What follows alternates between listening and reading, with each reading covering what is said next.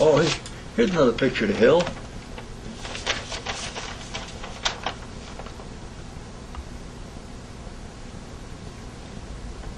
Ah, yeah. Here's uh, research where I work. Uh, this is where they had they had submarine engines up there for some reason they were testing. An engineering building. And here's the bowl area.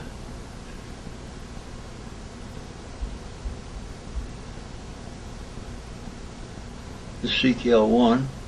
That's where I said I when I first worked when I went up to work there.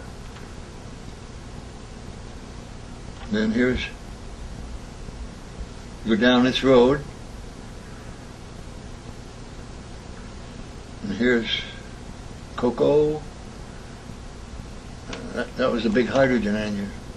This Delta, this is where we had the Lance program. And this is a pond here. And there's a pond, this is SETF, this is where I worked here. And here's where that atomic reactor plant was. And here's where we stored the uh, uh,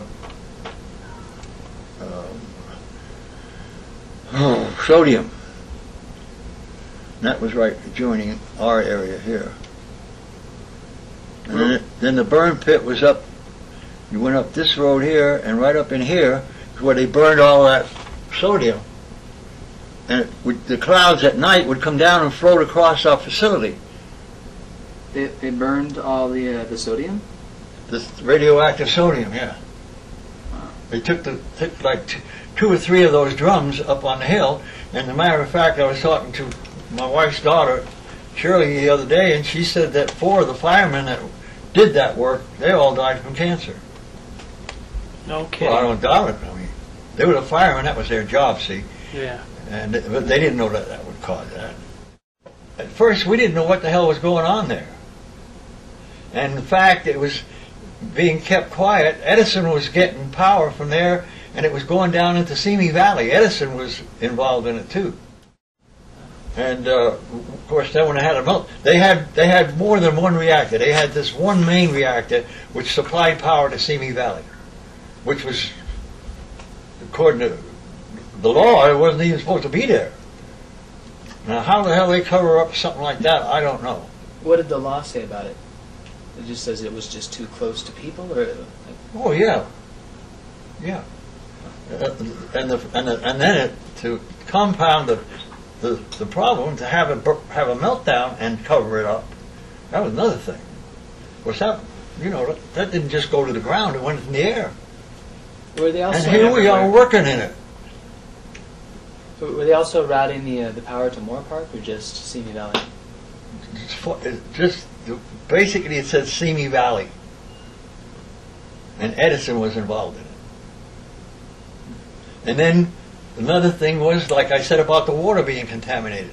We were we were using water out of the wells up there to drink and, and do stuff with.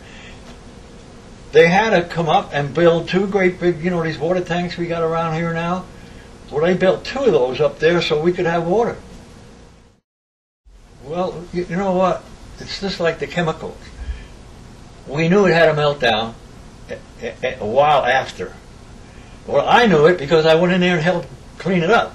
But uh, for some reason or other, the, the word never got around very much on the Hill. Atomics International is just a subsidiary of Rocketdyne.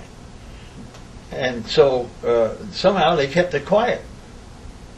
But uh, um, then even when the people found out about it, like us guys working up there, we never thought nothing about it. Because nobody said, it, you know, at that time the radioactivity wasn't, except for the atomic bomb, that how that affected those people. Well, we thought that was a different kind of radioactivity.